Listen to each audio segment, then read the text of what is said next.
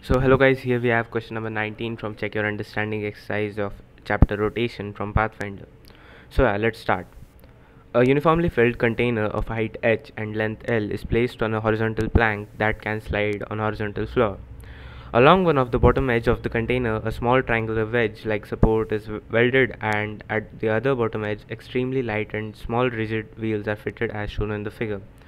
There is no friction at the axles of the wheel if the plank is made to move towards the right with acceleration a0, the container begins to slide. Find retardation with which the plank moving towards the right can be stopped, preventing the container from sliding and toppling respectively. Uh, here in this question, I feel that uh, there is uh, it can be worded better here. If the plank is made to move towards right with an acceleration a naught, the container begins to just slide. I feel here because it is the critical value. Uh, at just a naught, it begins to slide so it's the lowest acceleration at which it begins to slide. So if you want to try this yourself please do it now. So if you want the hint here you go. There will be no force or negligible force to be precise on the wheels in horizontal direction. So if you want to try it again please do it now. So yeah now let's uh, see how to solve this problem. So first of all I'll talk about this hint which I gave there will be no force or negligible force to be precise on the wheels in the horizontal direction.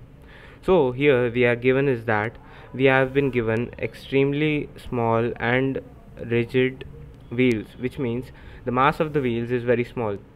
So let's say some friction is acting on the wheels in any direction. So it will cause uh, let's say it has a moment of inertia i so it will cause an uh, angular acceleration of alpha by torque equals to i alpha. So as the mass of the wheels is very less, this value inertia tends to 0. So uh, the angular acceleration should tend to infinity if the value of friction or if the value of the torque is some finite value. So this implies, uh, this tells us that this is not possible.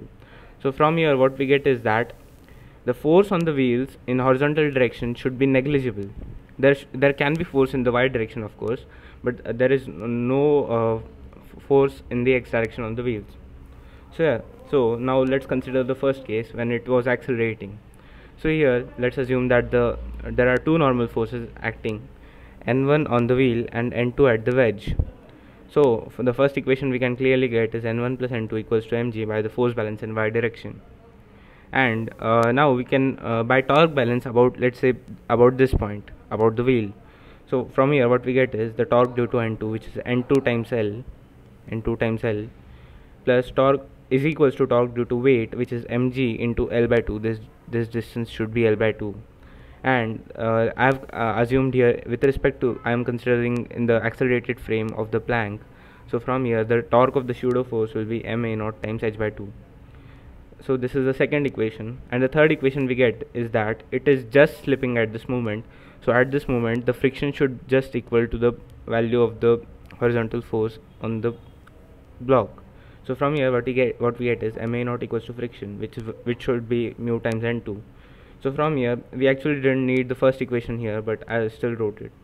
So from here from second and third equation what we get is ma naught equals to m ma naught equals to mg by 2 minus ma naught h over 2l times mu. So from here the, we get the value of mu to be 2a naught l over gl minus a naught h. So now let's consider the case when it was decelerating so from here the acceleration of the uh, sorry the direction of the pseudo force here will be opposite because this time it is decelerating. And let's say it was decelerating with an acceleration a.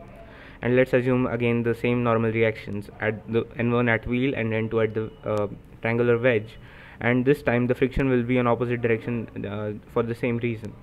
So from here again we get is n1 plus n2 equals to mg and again we write the torque about the wheel from here what we get is n2 times l equals to mgl by 2 plus mah by 2 and this is valid only if it doesn't topple. So if it uh, if the acceleration required for toppling is less than that of sliding then this uh, this equation won't hold. So let's see if if it uh, has has if it cannot slide.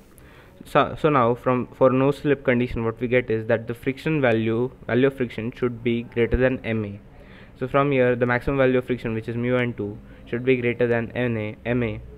So substituting the value of mu here and n2 from this equation what we get is and on solving what we finally get we get the final uh, result which we needed to find that a should be less than a naught gl over gl minus 2 a naught h.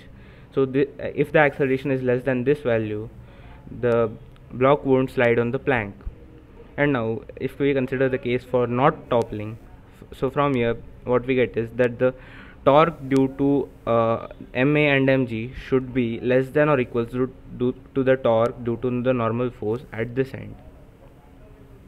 So from here what we get is ma into h by 2 plus mgl by 2 should be less than n2l and n2 can be written as mg minus n1 from the first equation we wrote n1 plus n2 equals to mg so and this value should always be less than mg and as n1 cannot be negative so from here what we get is mah by 2 minus m is less than mgl over 2 so from here we get the result we needed to uh, show that a is less than gl over h. So this is the condition for no slipping and this is the condition for no toppling. That's the final answer. Thank you